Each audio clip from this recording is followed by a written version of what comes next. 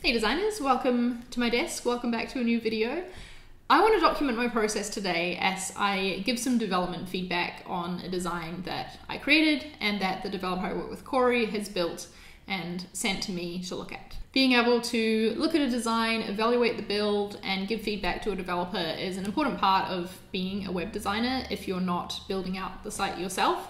Um, it's also a good process to go through, I suppose, if you are building out your own design for like critiquing it and making sure things are where they're supposed to be and doing what they're supposed to do. I am very lucky that Cory, who has a YouTube channel of his own, by the way, I will leave a link to it down below in the description. He's a great developer, he's got a good eye for design, so um, there's often not a lot of huge things that I need to give feedback on, but there's always little details and things that I see because I'm the one who created the design and they might have gotten missed in translating the design from Figma over to code. So I want to show you my process today for how I look at a build and send feedback to Cory on it. So this is the page that we're going to be looking at. It is the build of a page I designed to promote our free migration service that we have. So if you're moving to ConvertKit from another tool, we will help you move over for free and get all set up. So that's what this page is communicating. I actually did a video where I walked through my planning and wireframing process of this project. I never did the design phase, so if you'd be interested in that, vote on the poll up on screen right now.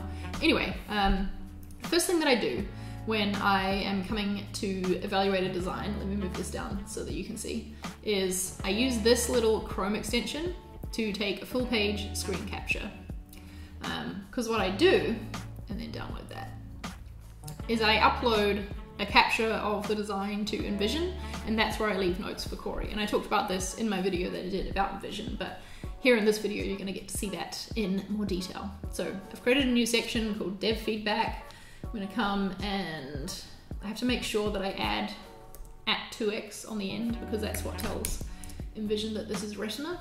And I also like to just compress the image because it's 2.9 megabytes, and that's a, that's a big screenshot. Once it's compressed, then I would just drag it, the much smaller file, into this dev feedback section in Vision. So this is be, going to be where I leave the comments and this will kind of act as a checklist for Cory to go through, but I will look at it in this view so that I'm looking at the live page, obviously. What I do is basically just start from the top and work my way all the way down.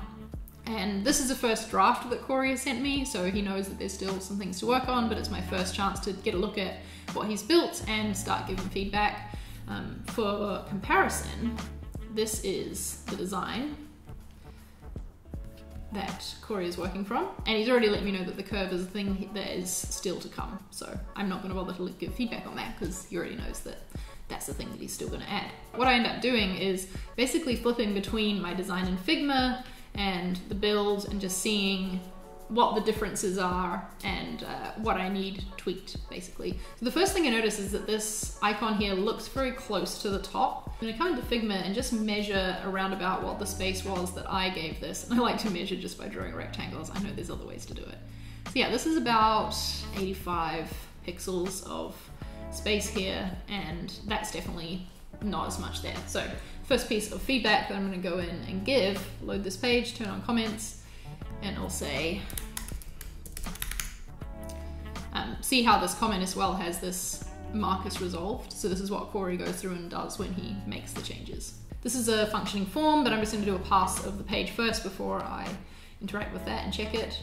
Another thing that Cory already let me know that he hasn't worked on yet is the arrows between these. So again, I'm not gonna bother to give feedback on that. This SVG doesn't like see how the boxes are thicker than the ones I have here. I think something's gone wrong when I exported that. So I'm just gonna leave a comment about that and that might be something that I, I need to fix. Next thing is this quote. Um, like I said, Cory's got a good eye for design, so I love that he has highlighted uh, this last line in bold because it's a most convincing line of this testimonial. So that's cool. That's not something that I put in the design, it was the thing he added, and it's great. One thing that needs to change though is in my design, this quote is italicized and this is actually a change that I want to make across all the quotes on our site. Sometimes I make little changes to patterns that we already have set up and I forget to highlight them.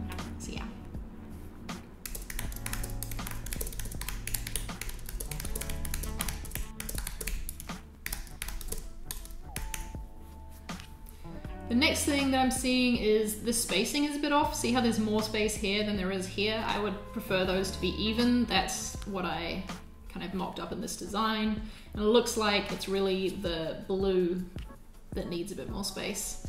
Um, yeah, let's leave that as a feedback.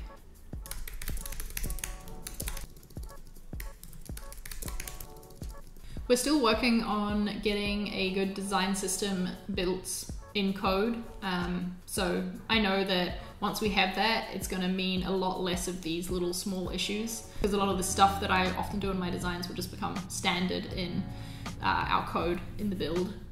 This heading here looks too small to me. I'm not sure if I made it that small. Um, in my design, it's an H2, and in here, uh, let's come in. Sometimes I go and inspect element as well, just to play around with things.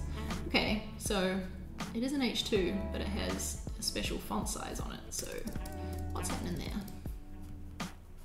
I also don't understand rem as font sizes, so sometimes I use this to see what it's telling me.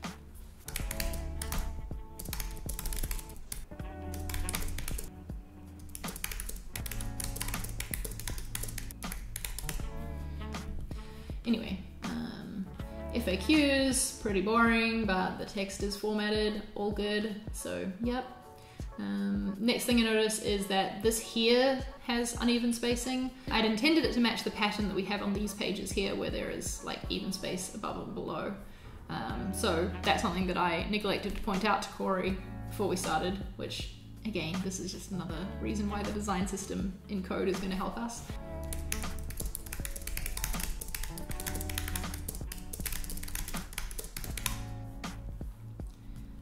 I'm just gonna check how many columns I had this thing spanning. Yep, that looks about the same as what's live. Cool. This button seems a little smaller though, interestingly. Um,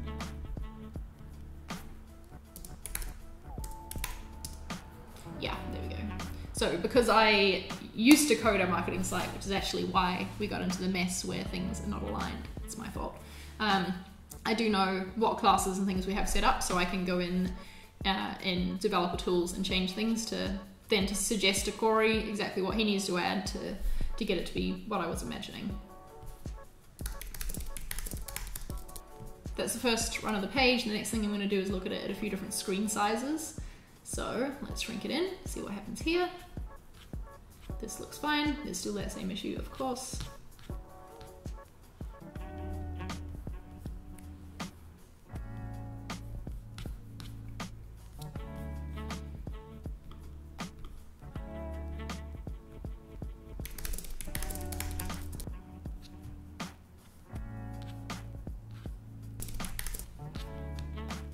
I was just noticing that this text here needs to look a little bit different on like what is essentially a vertical iPad screen. So uh, I can come in the code and change classes. We use Bootstrap for our grid to see what would be best here. I think it helps to do this rather than just me saying this should be wider. Um, if I take the time to go in and see exactly what needs to change, then it, can help Cory and we're speaking the same language. As part of the design system that we are currently working on implementing, we want to have um, common classes for spacing too. So instead of me saying up here where I said the exact pixels that I think thought the padding needed to be, we're going to have a language together for talking about that. So I can say this needs medium spacing, for example, and he'll put that in and um, yeah, it'll, it'll be what we need it to be. Okay, so I've had a look at that.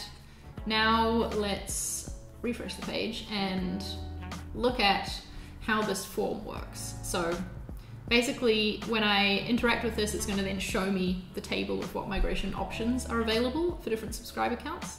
So let's see how it's working. Cool, I love how he's done this little spin around thing here. This is again, another reason why Cory is great. I didn't ask him to do that. He just thought that would be cool and he added it, which is awesome. So let's see what happens if I say this. Okay, so I don't like how that changed there. I want to make sure that these fields are the same width all the time because I just presented him with a static mockup. That's not something he could have known before and not something that I would have thought would be a problem. And let's say that, and then we'll show it. Cool. So I like the functionality of that. I just don't like how things change around when you're moving the form.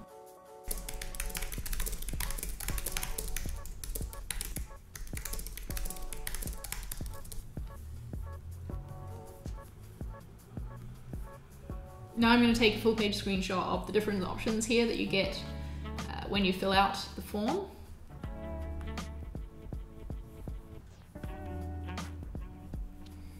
Okay, so I think, yeah, there needs to be slightly less space in here. So we'll leave that as feedback.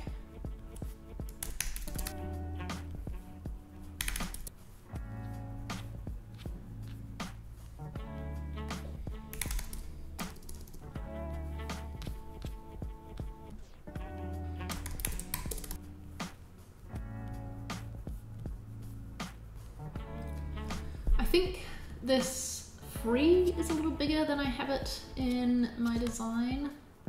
Um, let's see what the font size I used there.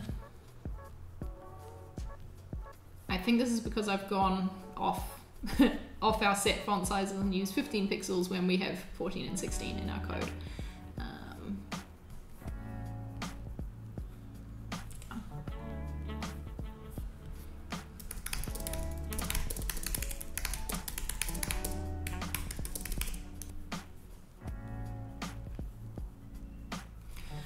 Noticing an odd issue with these SVGs too. I'm seeing a little like, yeah, that's looking a bit off, that little line on the box. So I need to work on that.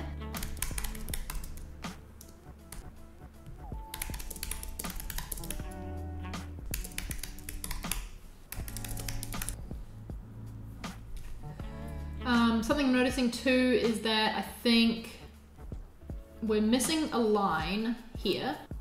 Yeah, we need email templates to be crossed out on this thing.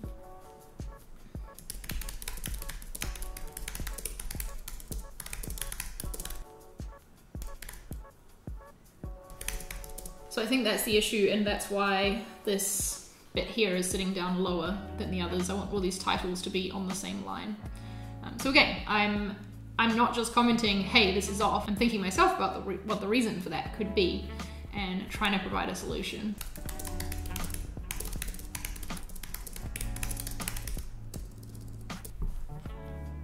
Sometimes I might write something like this just to um, tell Cory what I'm going for here, because I don't know if changing padding is the answer. I don't know if it's something to do with the button. I don't know, but I'm telling him my goal is for the spacing to be even at the sides and at the bottom, and so then he can figure out what the best solution for that is.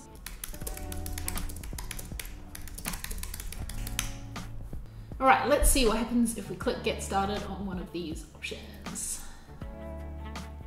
Right, we get to our migration form, which is great. This looks exactly how it needs to, um, but we do need that quote still to be italicized. So I will just take a screenshot of this page also, send to him.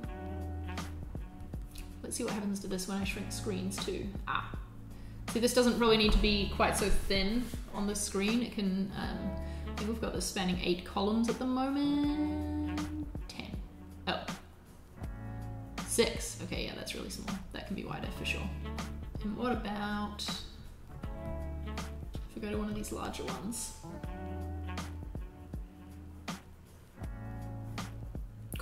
So something I asked for Cory to do was to have um, the data that I'd already input in the form previously follow over to here as well. So this is pre-filled and this is pre-filled in the form, which is great. And he's managed to do that, so that's awesome. We use Gravity forms for things like this on our website. So Cory hasn't laid out this form himself, but he's gone through and added classes to style things to match my design. So that's looking good. I won't make you sit and watch as I fill out this whole form um, and go through the last few detail checks, but I hope you enjoyed seeing this process of how I evaluate and give feedback on the build of a website. The main things I'm looking out for are does it match the design that I gave? Um, I look out for spacing. That's often an area where issues can happen. Um, it's where my like keen design eye immediately goes to and, and sees things that may not be immediately obvious to anyone else. Um, yeah, spacing, fonts, looking at images and how they're performing, um, and also testing on different screen sizes and making sure it's looking its best and doing what I want it to do. This is just the first draft of Cory's build and it's also the first pass of me going over and giving feedback to it. So um, mostly paying attention to the bigger things that need to change at this stage, and inevitably, once Corey makes these changes, which um, because I've put them all in InVision, he can ask me questions in there as well if there's anything that needs clarifying in the feedback that I've given. But once he makes those and gives me another build to look at, inevitably I'll catch a couple of smaller, like more final, finer detail oriented things um, that will still need to be changed. So yeah, usually the feedback process is a couple of rounds for the build of a website like this. Hope you enjoyed seeing the process though. Um, please make no judgments over our lack of a design system at the moment. Like I said, it's coming and I'll probably film a video on that uh, when it happens. Right now, the design system is really just in Figma. It's, it's not reflected in the code base. But anyway, hope you enjoy this nonetheless. Thanks for watching and I will see you in my next video. Bye.